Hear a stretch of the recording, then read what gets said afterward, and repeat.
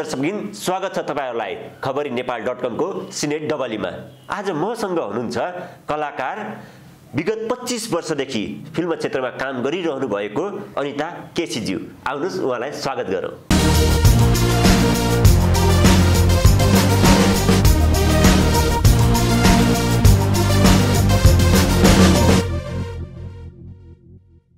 स्वागत छ दिदी तपाईँलाई सिनेट डबलीमा।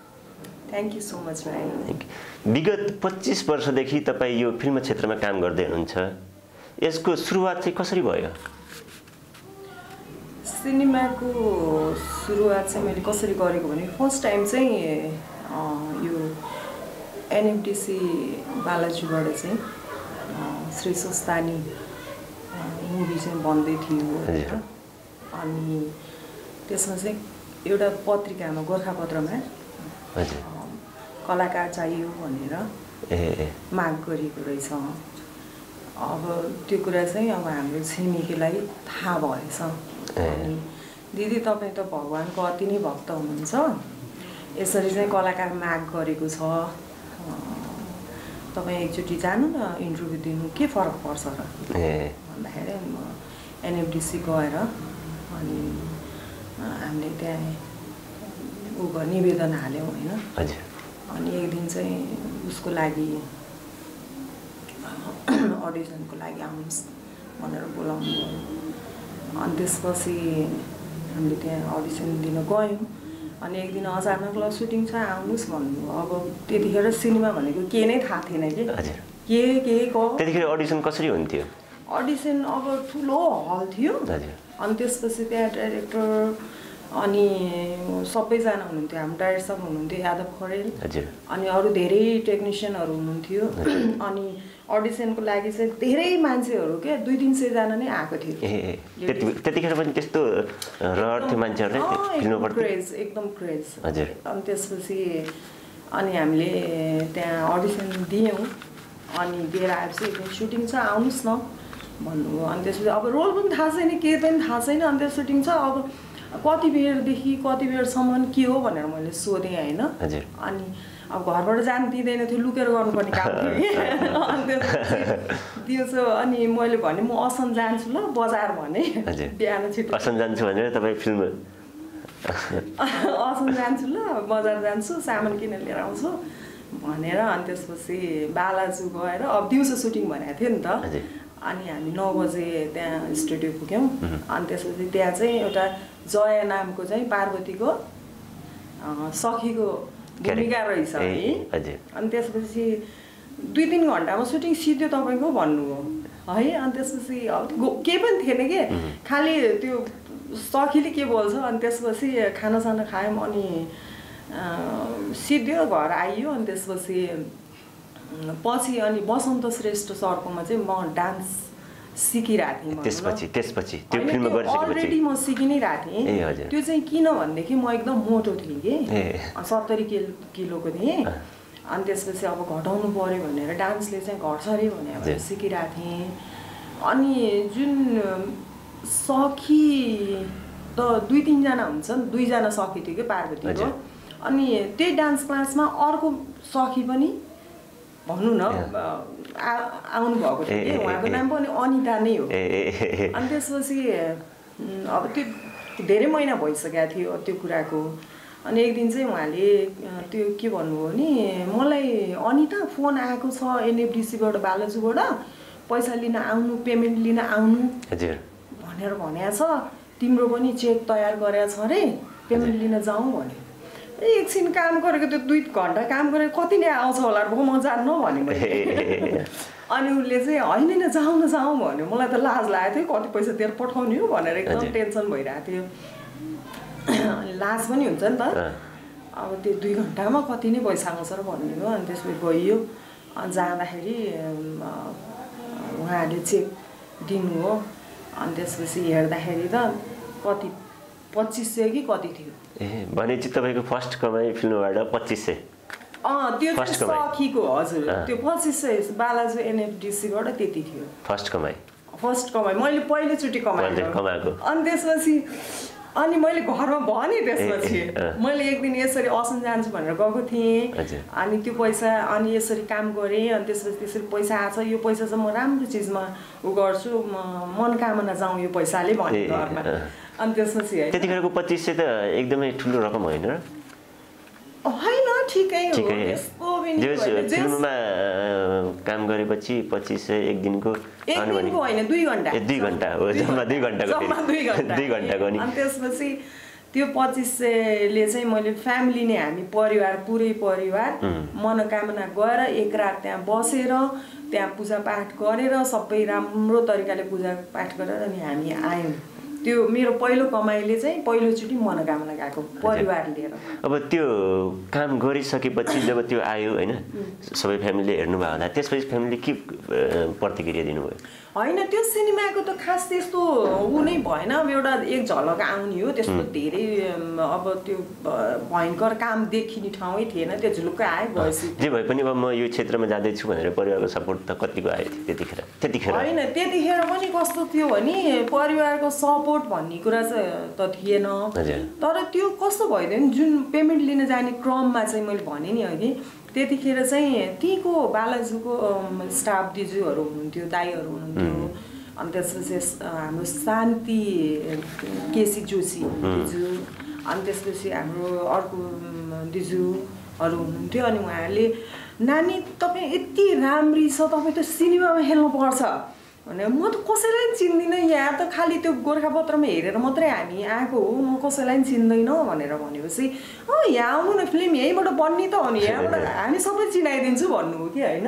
अनि त्यसपछि अनि ल ठिक छ भनेर अनि उहाँले मैले फोन नम्बर फोन गर्दै गर्नुहोस् भन्यो। त्यो बेलामा जता पनि फोन हुँदैन थियो। अनि बेला बेलामा म र त्यो अर्को साथी अनिताले फोन गर्थ्यौँ अनि आउनुहोस् फलानु डाइरेक्टर आउनु भएको छ भन्यो। नि को भने तीर्थ थापा आउनु भएको छ। आउनुहोस् न म परिचय गराउँछु भन्नु।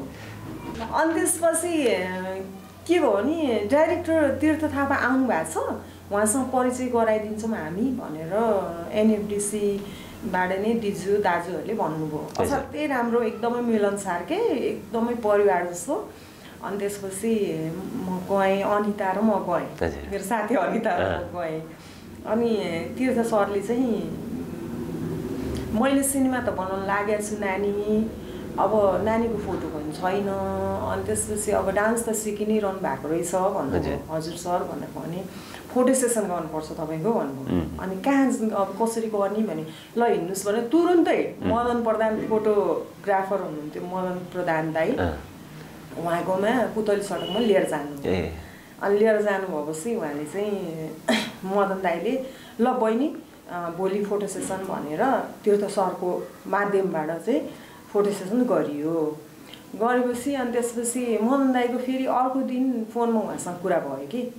एउटा पेपरमा चाहिँ ब्लो अपको लागि बिचको उसको लागि चाहिँ एउटा फोटो सेसन गर्न पर्ने भयो अनिता बहिनी। तपाईँको लुकहरू ठिक छ राम्रो छ तपाईँ त्यतिखेर अडिसनमा अडिसन लिँदाखेरि अहिले त अहिले विभिन्न मार्फतबाट हुन्छ होइन अनलाइन मार्फत पनि यस्तरी यस्तरी। त्यतिखेर अडिसन दिँदाखेरि कसरी प्रेजेन्ट गर्नुहुन्थ्यो आफूलाई? जस्तै एउटा रुममा ल यहाँ एक्ट गर भनेर भन्नुहुन्थ्यो कि होइन अडिसन भनेको त मैले त्यो फर्स्ट एकचोटि मात्रै दिएको। त्यसपछि कहिले दिनु परेन? गरेन त्यसपछि चाहिँ के भयो भनेदेखि त्यो फर्स्टचोटि दिँदाखेरि त अब एनएफडिसीमा ठुलो हल अनि त्यसको अगाडि धेरै टाढा क्यामेरा। अनि त्यहाँ बिस पच्चिसजना बस्नु भएको हुन्थ्यो अनि त्यसपछि कलाकारलाई ल यो डायलग बोल्नुहोस् तपाईँले भनेर ए। त्यही बोल्ने हो क्यामेरा अगाडि भएर बोल्ने। त्यति मात्रै थियो होइन? राम्रो थियो। अनि महिलाहरूलाई त्यतिखेर कतिको चुनौती थियो त यो फिल्म क्षेत्रमा काम गर्दाखेरि म तपाईँलाई भन्दैछु। है चुनौतीको। अहिलेसम्म सामना गरेको छैन छैन अहिलेसम्म गर्नु परेको छैन होइन होइन म त्यो जुन भन्दैछु नि म। तपाईँलाई अनि त्यसपछि मदन दाईकोमा ब्लगको लागि उहाँले फोटो सेसन गर्न बोलाउनु। भयो अनि बोलाउनु भएपछि मैले फोटो सेसन गर्ने गरेँ त्यसपछि पेपरमा आयो है पेपरमा साप्ताहिक पेपर थियो अनि आएपछि अब त्यो खुसीको त अब सिमाना नै छैन। फर्स्ट टाइम होइन आफूले पत्रिकामा आफूले धेरै पनि होइन एकैचोटि पेपरमा ड्याङ्गै आउँदा त होइन अनि त्यसपछि अनि त्यो फोटो हेरेर सजाय फिल्म बन्दै रहेछ कुन्दन खनाल दाई डाइरेक्टर। हुनुहुन्थ्यो सजाय। पहिला आफ्नो होइन पहिला अर्को सिनेमा बनाउनु भएको थियो उहाँको सिनेमा एकदम हिट भएको थियो। अनि सजाय सिनेमा बनाउँदै हुनुहुँदो रहेछ। अनि उहाँको सिनेमामा एउटा क्यारेक्टर चाहिँ ठ्याक्क म जस्तो चाहिने रहेछ। होइन? अनि भएपछि अनि मदन दाईले नै मलाई फेरि भन्नुभयो नानी एउटा सिनेमा बन्दैछ त्यसमा चाहिँ नानीको क्यारेक्टर मतलब त्यो स्टोरी अनुसार नानीलाई सुहाउने एउटा रोल छ।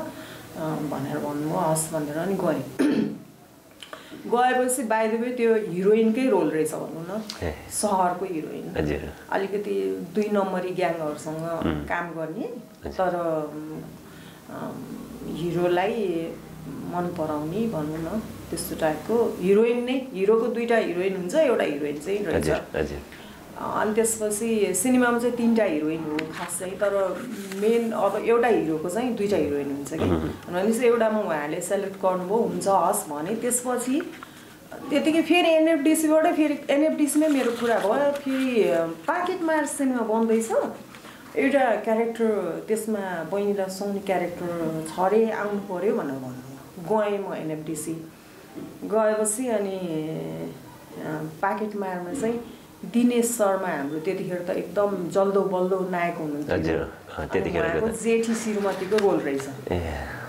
अनि त्यसपछि त्यो जेठी श्रीमतीको रोलमा उहाँहरूले मलाई त्यो पनि एक दिनको काम थियो। एक दिनको भन्नाले? पोखरामा एक दिनको काम भन्दा। एक दिनको सुट। ए एक दिनको सुटमा। भ्याइयो हजुर। अँ, पोखरा त्यतिखेर सुट गर्दाखेरि टाइम लाग्थ्यो कि त्यति टाइम खर्च हुन्थ्यो कि अहिले बढी खर्च हुन्छ जस्तो लाग्छ टाइम सुट गर्दाखेरि? उस्तै हो टाइम। एउटै हो? एउटै हो अनि त्यसपछि पोखरा गइयो अनि एक दिनको सुट थियो। त्यसमा दुई तिन सिन छ। त्यसपछि आएँ अनि आएपछि फेरि सजाएको सुटिङ भइरहेको थिएन। त्यसपछि काली गण्डकीको सेरोफेरो सिरियल बन्दै रहेछ। अनि त्यतिखेर चाहिँ लर्ड बुद्ध फिल्म चाहिँ नेपालमा बन्दै थियो। नेपालमा? हजुर। लर्ड बन्नी प्रधान हाम्रो डाइरेक्टर उहाँ डाइरेक्टर हुनुहुन्थ्यो. अनि उहाँकोमा पनि अब लर्ड बुद्धमा पनि एउटा क्यारेक्टर दिँदै हुनुहुन्थ्यो हामीलाई खेलाउँदै हुनुहुन्थ्यो। त्यसमा त धेरै क्यारेक्टर हुने अनि एउटा क्यारेक्टरमा खेलाउँदै हुनुहुन्थ्यो। अनि त्यही अनि अवसरमा चाहिँ अब जस्तो हाम्रो अविनाश श्रेष्ठ राइटर हजुर। अविनाश दाजु हुनुहुन्छ। उहाँले लेखिरहनु भएको थियो। अनि हजुरले क्यारेक्टर चुज गर्दाखेरि कसरी क्यारेक्टर चुज गर्नुहुन्छ? होइन मलाई चाहिँ यो क्यारेक्टर मनपर्छ है। यो क्यारेक्टर चाहिँ म गर्न सक्छु त चु चुज गर्ने चान्सै छैन। चान्सै छैन। अब सुरुवातको गर्दैछु। अनि त्यसपछि त्यहाँबाट कालीगण्डकी सेरोफेरमा एउटा क्यारेक्टर छ यस्तो क्यारेक्टर छ। अन्त बहिनीलाई के छ भनेर अविनाश दाईले चाहिँ हाम्रो चिरञ्जीवी खरेल हजुर। बन्नी सरको चाहिँ असिस्टेन्ट हुनुहुन्थ्यो त्यतिखेर। अनि चिरञ्जीवी दाईले चाहिँ अन्त बहिनी यस्तो सिरियल बन्दै रहेछ खेल्ने हो भनेर भन्नु। हुन्छ दाई म खेल्छु भनेर भने अनि त्यसपछि कालीगण्डकी सेरोफेरोमा पहिलो सिरियल मेरो है। हजुर। अनि त्यसपछि हामी बेनी गयौँ सुटिङ गर्न। कालीगण्डी सेरोफेरो के सम्बन्धीको थियो त्यो? चाहिँ अब भनौँ न समाजमा जातपातको भेदभाव। धनी गरिबको भेदभाव कुन सालमा आएको थियो सिरियल हामीले त्यो सुटिङ चाहिँ बाहन्न सालमा गरेको हो। बाहन्न त्रिपन्नको बिचमा। तर टेलिकास्ट भएको चाहिँ पचपन्न सालमा हो होइन अनि कालीगण्डकी सेरोफेरोमा चाहिँ अब त्यहाँको काजी साहबको चाहिँ छोरीको रोल एउटा अन्याय मन नपराउने न्यायप्रिय एउटा न्यायप्रिय केटीको रोल थियो. अब मलाई त अब त्यतिखेर पनि मेरो रोल यस्तो छ भनेर मलाई थाहै थिएन। गरियो आइयो है? अनि त्यो भयो अब त्यतिखेरसम्म पनि अब त्यो मैले चोइस गर्ने भन्ने कुरै थिएन। फेरि त्यसपछि सजायको सुटिङ गऱ्यौँ हामीले। सजाय सुटिङ भएपछि सजायमा चाहिँ अब भनौँ न सुटिङ सिद्धियो एउटा गीत बाँकी थियो। बाई द वे उहाँहरूको के प्रब्लम परेर के भएर चाहिँ त्यो रिलिज हुन सकेन। अनि त्यही क्रममा कालीगण्डीको सेरोफेरोमा काम गरिरहेको थियौँ। अनि त्यतिखेरै चाहिँ एउटा उसको भक्त काजीको बहिनीको रोल गर्ने कोपिला थापा हुनुहुन्थ्यो। उहाँ राम्रो एक्ट्रेस कलाकार हुनुहुन्छ होइन? अनि उहाँले चाहिँ के भन्नु भने मेरो दाई हुनुहुन्छ हाम्रो रिलेटिभ हो। उहाँलाई अलिक सन्चो रहन्छ जाउँ न त्यहाँ भन्नुभयो। हजुर। अनि अब त्यतिखेर त हामीहरू एकदमै भनौँ न अब अहिले जस्तो टाढा टाढा कोही पनि थिएन त्यतिखेर त को कहाँ के भएको छ दौडिहाल्ने चलन थियो कि। अनि सन्चो छैन उहाँलाई जाउँ न भनेपछि ल नि त ल भनेर अनि गइयो अनि गएपछि अनि त्यहाँ के भएछ भने अब दाईहरू भाउजू बिरामी दुईजना बिरामी के दाई। भाउजू नि अनि त्यसपछि खानासाना बनायौँ अनि त्यसपछि दाई भाउजूलाई खुवायौँ चिया चिया खाँदै थियौँ अनि ठ्याक्क मेघराज पौडेल दाई प्रोडक्सन म्यानेजर दाई आइपुग्नुभयो। अनि दाईले के सोध्नु भने तिमीहरूको सुटिङ कहिले हुँदैछ। भनेर मेघराज दाईलाई सोध्नुभयो। उहाँ दाईहरूले चाहिँ आफ्नो बिरानो बनाइसक्नु भएको थियो कि पहिला।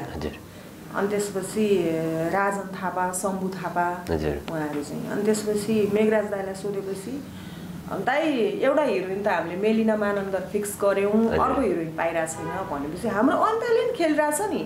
अन्ताले खेल्छिन् होला न संयोग संयोग जुरेको अँ, त्यतिखेर खेल्छिन् होली नि सोध न भनेर भन्नुभएपछि मेघराज दाईले खेल्ने नानी भनेर भन्नु अँ दाई खेल्ने भनेर भन्यो हजुर अनि भनेपछि यो दुई बजेको कुरा हो हजुर अनि फोन नम्बर दियो त भन्नुभयो हस् भनेर फोन नम्बर दिएँ अनि दाईको ठ्याक्क पाँच बजी फोन आयो र तुरन्त रेडी भएँ म घटेकुलोमा बस्ने। अनि घटेकुलोमै अफिस रहेछ क्या नजिकै तुरन्त रेडी भएर यहाँ अफिसमा आऊ त नानी भन्नुभयो अनि हस् भनेर म गएँ गएपछि ठ्याक्क सिनेमा साइन गराउनु भयो उहाँले अनि त्यसपछि फर्स्टमा मैले अब हिरोइन एज अ हिरोइन गरेँ त सजायमा हो सजायमा तर अनि फर्स्टमा अब त्यसमा राम्रो रोलमा एकदम गजबको चित्त बुझ्ने रोलमा चाहिँ छहारीमा उहाँले सारीमा तपाईँलाई एकदमै चित्त बुझ्दो आफ्नो क्यारेक्टर पनि र मुभी पनि। अँ।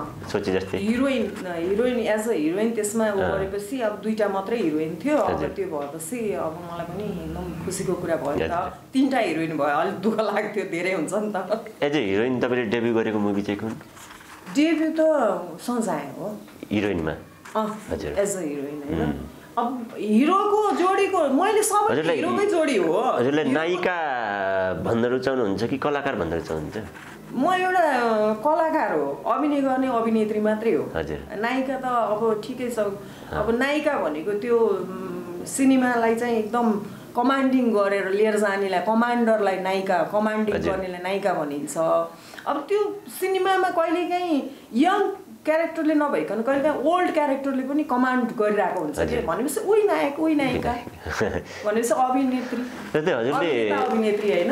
हजुरले राजेश हमाल धीरेन साक्य विराज भट्ट लगायतका थुप्रै कलाकारहरूसँग काम गरिसक्नुभयो। सबैसँग सबैसँग। काम गर्न सक्नुभयो। तर त्यो काम गरेको अनुभव कस्तो भयो त? तिनीहरूसँग काम गर्न गरा गर्दाखेरि कतिको उहाँबाट एक्टिङहरू क्यारेक्टरहरू त्यो कुराहरू सिक्दाखेरि साँठगाँठ हुँदाखेरि कस्तो रमाइलो भयो त्यो? अब सिक्ने भन्ने क्रममा चाहिँ कस्तो हुन्छ भनेदेखि त्यतिखेर अब सबैजना राम्रो भोगाउने भोग्ने त केही कुरा थिएन सबैको आफ्नो काम हुन्थ्यो होइन। अब सबैजनाले आफ्नो काम गर्ने हो त्यसपछि आफ्नो बाटो लाग्ने। हो होइन अब त्यहाँ काम गर्ने क्रममा पनि कस्तो भने अब काममै व्यस्त भइन्थ्यो। सिकाउने त डाइरेक्टरले हो। डाइरेक्टरले सिकाउनुहुन्थ्यो त्यही अनुसारले हामीले एक्टिङ गर्ने हो होइन। र अर्को कुरा बिहेभियरको कुरामा चाहिँ अब बिहेभियर बिहेभियर गर्ने भनेको अब बोलीचाली गरिरहने हाँस्ने बोल्ने यताउता भयो भने बिहेभियरको कुरा आउँछ। त्यस्तो हुँदैन थियो कि सबैजना आफ्नो ठाउँमा हुन्थे।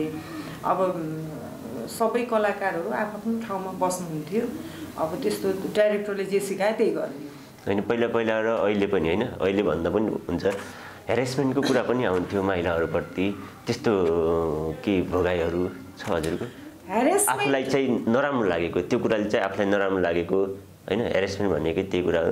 आफूलाई चाहिँ त्यो कुराले अनि अब कस्तो छ भने ह्यारेसमेन्टमा चाहिँ तपाईँलाई कस्तो भन्छु भने त्यतिखेर ह्यारेसमेन्ट भनेकै थिएन। थिएन अहिले अहिले हो हजुर। त्यतिखेर अब तपाईँको अब डाइरेक्टर प्रोड्युसरहरूसँग त चिन्जानै हुँदैन हजुर। थियो डाइरेक्टरहरू आफ्नो ठाउँमा। बस्नुहुन्थ्यो एकदम कमान्डर जस्तो एकदम कमान्डिङ हुन्थ्यो उहाँहरूको एकदमै डाइरेक्टरहरूसँग हामी डराउँथ्यौँ होइन र अनि ह्यारेसमेन्ट कसैले पनि कसैलाई गर्दैन थियो क्या। अनि त्यसपछि कहिले पनि मैले त्यस्तो अनुभव गरिनँ। तर अब अहिले चाहिँ कस्तो छ भने सिनेमामा होइन कि। यो जुन फेसबुकमा छ नि यो अगाडि राम्रोसँग कुरा गर्छ अनि मेसेन्जरमा चाहिँ वाहियात नचाहिने कुराहरू मेसेज पठाउँछ। क्या यस्तो खालको ह्यारेसमेन्ट चाहिँ यो टाइपको। देखेँ कि मैले त्यो पनि अब राम्रो रेपोर्टेड मान्छेको कुरा गरे। होइन फ्रेन्डसिप रिक्वेस्ट पठाउँछ अनि त्यसपछि अब राम्रै अब धेरै फ्रेन्डहरू हुन्छ म्युचुअल। फ्रेन्डहरू धेरै हुन्छ अनि एक्सेप्ट गरेँ अनि कुनै न कुनै दिन अनि केही न केही बोल्ने। केही न केही त्यो आफूलाई टचर हुन्छ क्या त्यो। एकदम त्यो थोत्रे कुराहरू के। मन मन नपर्ने कुराहरू गर्छन्। त्यस्तो टाइपको हेरेसमेन्ट चाहिँ अहिले चाहिँ छ। तर सिनेमामा चाहिँ छैन। तपाईँको बुझाइमा सिनेमामा हेरेसमेन्ट छँदै छैन। सिनेमा हजुरको बुझाइमा मात्रै। मेरो बुझाइमा चाहिँ म त सिनेमा भनेपछि त के भन्ने स्वर्गका जस्तै हुन्छ। मलाई स्वर्ग नै हो मेरो लागि। अबको सिनेमा मार्केट कतातिर जाला त? सन्ताउन्न सालबाट यता चाहिँ तपाईँको द्वन्द्व। जुन आन्तरिक द्वन्द्व भयो त्यसले पनि धेरै प्रभाव पार्यो त्यसले त अब तपाईँ कर्फ्यू लाग्ने त्यही बेलामा द्वन्द्व हुने त्यही बेलामा अब लडाइँ पर्ने अब माओवा अब त्यतिखेर माओवादी झन्डै झन्डै तिन चार। वर्ष फिल्महरू र फिल्म निर्माणहरू बन्दै भयो है त्यतिखेर बन्द त भएन बनाउनेले त बनाइ नै रहनु। थियो तर थोरै बनाउनु भएको थियो। कमाइ खासै हुँदैन थियो। मेरो विचारमा। अब त्यो सिनेमा क्षेत्र चाहिँ त्यो बेलामा डुबेको। सिनेमा क्षेत्र मात्रै होइन देशको देश, हरेक क्षेत्र। चाहिँ डुबेकै समय हो कि त्यो बेला चाहिँ। अनि त्यसपछि सिनेमा क्षेत्र चाहिँ सबैभन्दा धेरै। धेरै। होइन? खानेकुराको बिजनेस गर्नेको त त्यो त खाना त जतिखेर पनि पर्यो। होइन? त्यो खानेकुराको बिजनेस चल्छ जहाँ पनि जहिले पनि चल्छ। अनि त्यसपछि त्यो अलिकति माथि आउँदै थियो भूकम्प आइदियो। फेरि बन्द भयो है। फेरि त्यो अलिक पीडित नै भयो क्या। सिनेमा क्षेत्र। अनि त्यसपछि अब अब फेरि माथि आउँदै थियो फेरि कोरोना आयो। अब फेरि त्यसले अब कोरोनाले अब पुरै स्टप अब अहिले त धेरै नाजुक स्थिति छ नाजुक होइन। स्थिति छ। अँ, अबको अ, सिनेमा मार्केट कतातिर जाला त? अब त- जस्तै निर्माण भएर बसिरहेका करोडौँ लगानी गरेर बसेका मुभीहरू पनि छन् होइन? अबको सिनेमा मार्केट भनेको चाहिँ कस्तो हुन्छ भनेदेखि यदि प्राकृतिक हिसाबले कुनै आपद विपद आएन भने अब यस्तो कुनै रोगहरू महामारीहरू आएन भने अब भनौँ न सामाजिक समाज चाहिँ स्थिर मतलब फ्रिज भएन। हुन- फ्रिज भएन भने किनभने अहिले त फ्रिज। भएको थियो नि। भर्खरै फ्रिजबाट चाहिँ उम्किन पाउँदैछ यदि भएन भने चाहिँ यो भएन भने सिनेमा क्षेत्र धेरै राम्रो गर्छ सिनेमा क्षेत्रले। होइन? धेरै राम्रो गर्छ। तर बेला बेलामा यो तरिकाको अवस्थाहरू भइरह्यो भने चाहिँ गाह्रो छ। कलाकारलाई मार पर्छ। कलाकारलाई मात्रै होइन अब जस्तो अब तपाईँले अघि सोध। क्वेसन गर्नुभयो अब करोडौँ रुपियाँहरू। लगानी गरेर ऊ गरेको सिनेमाहरू छ। अब उहाँहरूको अब आउ कमाइ हुनुपर्ने सिनेमा उहाँहरूको लगानीहरू फ्रिज भइरहेछ। होइन? धेरै पैसाहरू सिनेमा क्षेत्रमा अहिले फ्रिज भएर बसिरहेको। छ किनभने सिनेमा चलाउने वातावरण छैन। अहिले हलमा गएर हेर्ने वातावरण छैन। अब यो कोरोनाले गर्दाखेरि चाहिँ अब अहिले यस्तो छ। अब भगवान्सँग प्रार्थना गर्नु गर्छु कि हामीहरूले गरौँ कि अब चाहिँ यस्तो नहोस्। विपदहरू आइ नपरोस् किनकि हामी सबै तपाईँकै बच्चा हो। हामीले पनि खाना लाउनु पर्छ होइन। र अर्को कुरा चाहिँ समाजमा चाहिँ अर्को कुरा म के भन्न चाहन्छु भने समाजमा अरूले भनिदिन्छ केही कुराहरू यसो गरौँ उसो गरौँ भनेर भन्छन् तर डिसिसन गर्ने र सोच्ने शक्ति आफैसँग हुनुपर्छ। आफैले गर्नुपर्छ। फलानुले त यो गर न यसो गर न भन्छ। हो कुनै कुनै कुराहरू राम्रो पनि हुन्छ। त्यो उसले भने अनुसार गर्दाखेरि। तर सबभन्दा पहिला आफूले सोच्ने आफूले विचार गर्ने त्यो बाटोमा हिँड्ने कि नहिँड्ने कि त्यो कस्तो हो राम्रो नराम्रो त्यो कुरालाई चाहिँ पत्ता लगाएर आफूलाई चिन्नुहोस्। पहिला। आफ्नो पहिचान आफूले पाउनुहोस् के गर्न आइरहेको छु? सिनेमामा मात्रै होइन हरेक समाजमा हरेक- समाजको चाहिँ हाम्रो दाजुभाइ दिदीबहिनी अहिले झन् अहिले नयाँ हुनुहुन्छ। पहिला बुढाबुढी आमा बुवाहरू पहिला पहिलाको मान्छेहरूले त बुझिसक्नु भएको छ धेरै कुराहरू। होइन? अब जुन नयाँ समाजमा जति पनि अब न्यू जेनेरेसनहरू भाइ बहिनीहरू हुनुहुन्छ उहाँहरूलाई चाहिँ मेरो निवेदन छ राम्रो नराम्रो हुन त मैले भनिरहनु पर्दैन सबैलाई थाहा छ यो कुरा तर पनि हजुर। आफैले बुझ्नुपर्ने कुरा पनि हो र आफ्नो व्यवहारमा पनि लागू गर्नुपर्ने कुराहरू हुन् होइन? अरूले यो राम्रो यो गर न भने भुल्नु भएन। हजुर हजुर। जे काम गर्दैछु त्यो कामप्रति आफ्नो फोकस हुनु पर्यो। र त्यो राम्रो कि हजुर, पहिला दुई पाटा। त्यो त्यो बुझ्नु पर्यो। हजुर। त्यो एउटा बुझिदिनु पर्यो भन्ने कुरा हजुर। मेरो भनाइ हजुर अरू केही कुराहरू अरू चाहिँ अब के भन्ने अब भगवान्ले चाहिँ सिनेमा क्षेत्रलाई पनि राम्रो गरिदिनु भयो भने आशीर्वाद भगवान्को सधैँभरि सिनेमा क्षेत्रले आशीर्वाद आशीर्वाद पाओस्। र हाम्रो नेपाली र विश्वकै विश्वमै बस्नु हुनुहुने सबै मानव जाति र अरू पनि जीव जीवात्माहरू जति पनि जीवहरू हुन्छ उहाँहरूको सुरक्षा होस्। अब मानव मात्रै छैन। अरू। पनि छन्। सबैको राम्रो होस्। भगवान्को कृपा सबैले पाओस्। भन्न चाहन्छु। हस्। हस् दिदी धन्यवाद। यहाँ आएर यति राम्रो राम्रो मिठाहरू कुरा राखिदिनु भयो यहाँलाई फेरि फेरि पनि हामी बोलाउनेछौँ। हस् धन्यवाद हस् थ्याङ्क यू भाइ धन्यवाद